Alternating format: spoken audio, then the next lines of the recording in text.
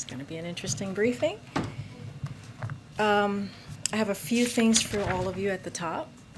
So today, the Biden-Harris administration is announcing a set of concrete steps to accelerate investments in our ports, waterways, and freight networks.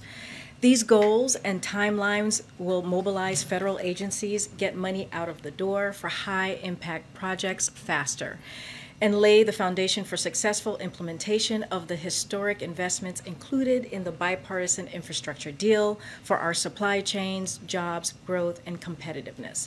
This action plan will increase federal flexibilities for port grants, accelerate port infrastructure grant awards, identify project locations for coastal navigation, inland water, waterway, and land ports of entry, and launch the first round of expanded port infrastructure grants.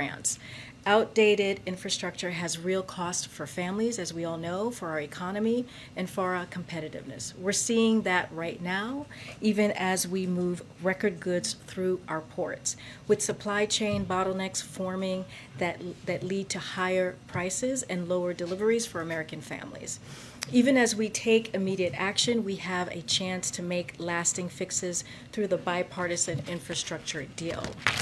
The bipartisan infrastructure deal includes a total of $17 billion to improve infrastructure at coastal ports, inland ports and waterways, and land ports of entry along the border.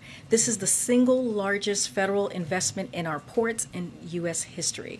And these investments will improve the efficiency, sustainability, and resiliency of these hubs of commerce. As you all know, the President will be visiting the Port of Baltimore tomorrow, where he will further discuss the administration's port action plan and the historic investment in ports in the bipartisan infrastructure deal.